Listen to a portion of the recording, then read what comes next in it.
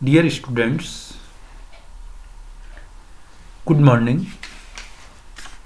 Again, I welcome all of you in today's online class. In today's online class, we will discuss the exchange forces and explanation of saturation of nuclear forces on the basis of exchange forces. So, in order to discuss the exchange forces, three types of exchange forces are extensively used. These are number one, Heisenberg forces, in which there is exchange of both the position and spin coordinates of the two interacting nucleons. Heisenberg forces are attractive for triplet interactions and repulsive for singlet interactions that is anti-parallel spin. Number 2. Majorana forces in which there is exchange of the position coordinates but not of spin. They can be visualized physically in terms of the exchange of pi mesons or pions.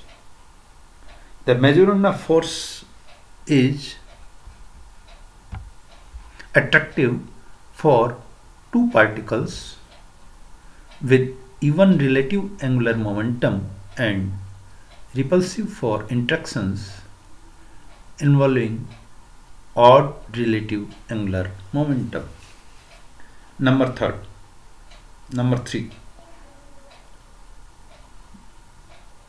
Bartlett forces in which there is exchange of the spin coordinates but not of the position coordinates. The two nucleon system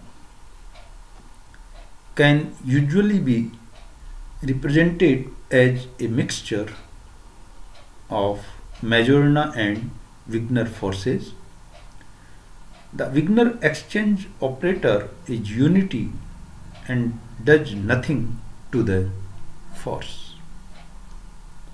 If each nucleon exerted, exerted the same attractive force on all other nucleons in its nucleus, then there would be a a minus 1 upon twice attractive bonds for A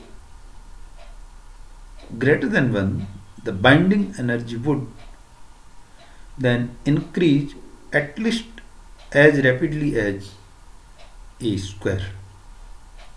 Experimentally, this square law is not realized because B upon A binding energy per nucleon is not proportional to A to a good approximation, the total binding energy B is proportional to the number of nucleons or we can say B is equals to constant into A.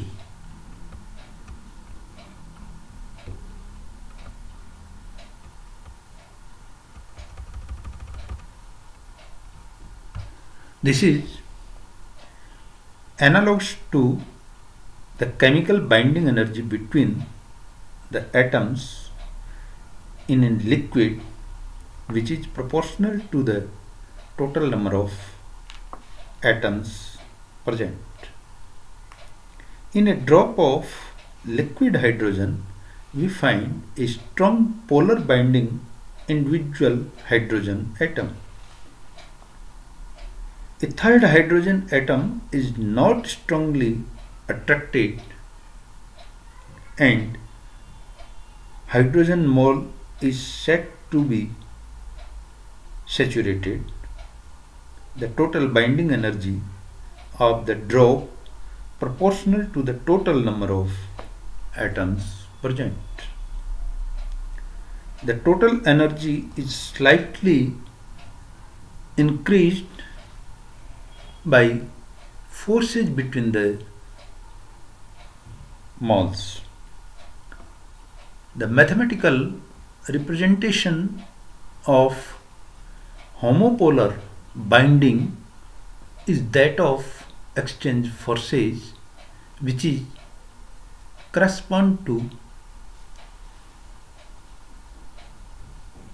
continued process of exchanging the electrons of one atom with the other atom in the molecule. Adoption of the concept of exchange forces in nuclear theory was made because they explain the saturation of nuclear forces. The particle which is exchanged between two nucleons is assumed to be a pi meson or pion. The exchange force between a proton and neutron can be shown like this. Here is an interaction that is p plus n going to convert into n dash plus pi plus plus n.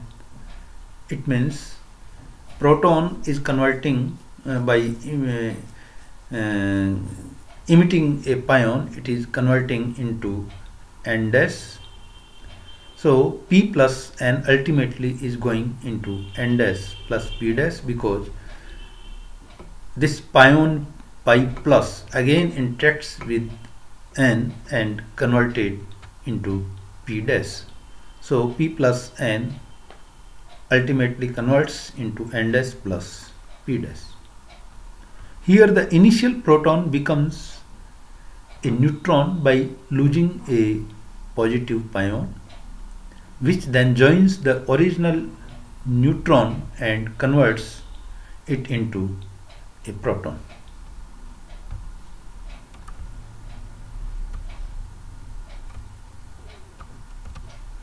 The original protons and neutrons have now exchanged their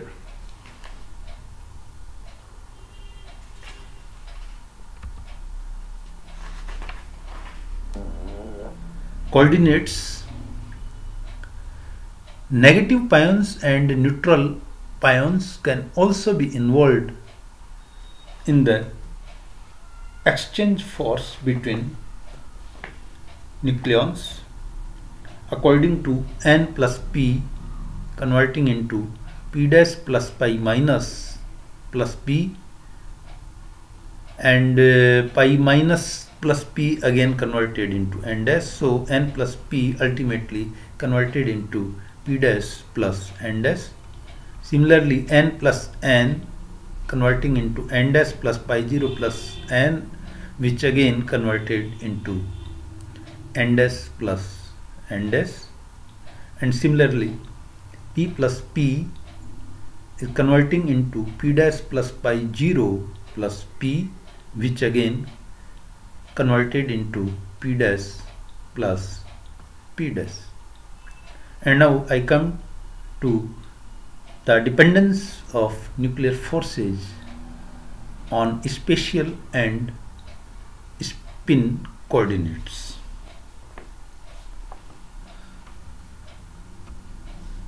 The nuclear unit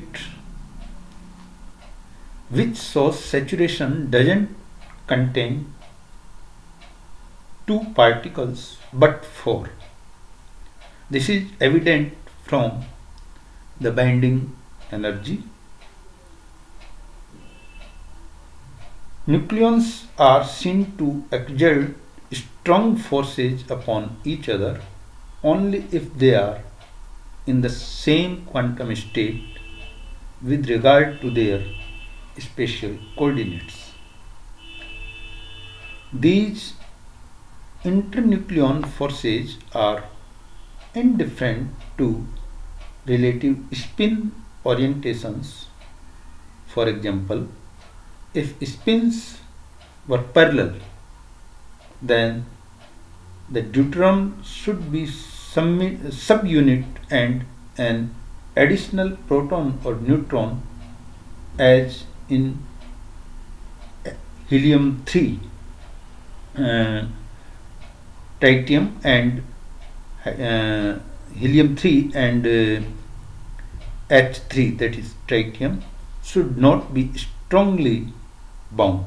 Therefore the forces between nucleons can depend only moderately on the relative spin directions of the two nucleons. And that's all in today's online class. Thank you